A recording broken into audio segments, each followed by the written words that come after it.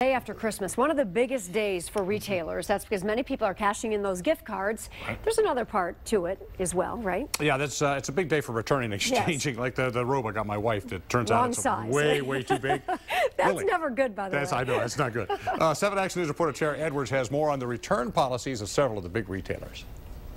Plan on returning something you bought at Target? Plan on bringing your packaging slip, the credit card you used, and a printed receipt. If you made a purchase online, you can go to the company's online return center to print one out.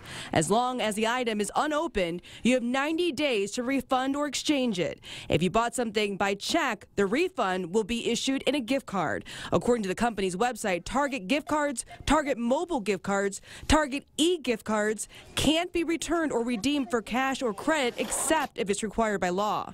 While making a return at Meijer, keep in mind you should bring your receipt. If not, you are subject to the lowest sale.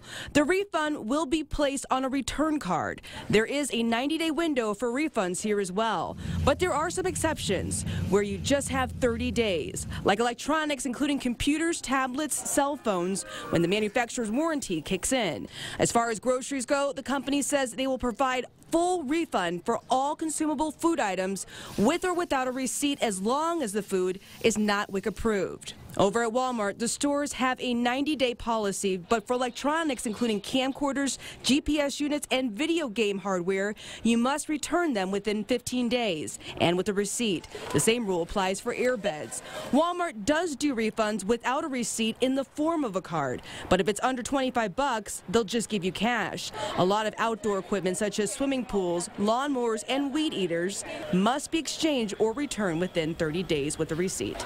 Tara Edwards, 7 Action News.